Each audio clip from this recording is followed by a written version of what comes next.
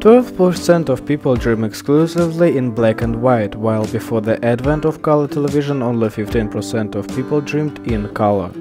A giraffe needs only 1.9 hours of sleep a day, whereas a brown bat needs 19.9 hours a day. People sleep 1 divided by 3 of their lives, obviously it depends on the age of the person, but on average it is about a third, which is quite a lot if they think about it. The longest period without sleep is 11 days. This was established by a California student named Randy Gardner in 1964. Don't repeat this at home, please. Often deaf people use sign language in their sleep. There are many cases where people have reported their deaf partners or children using sign language in their sleep.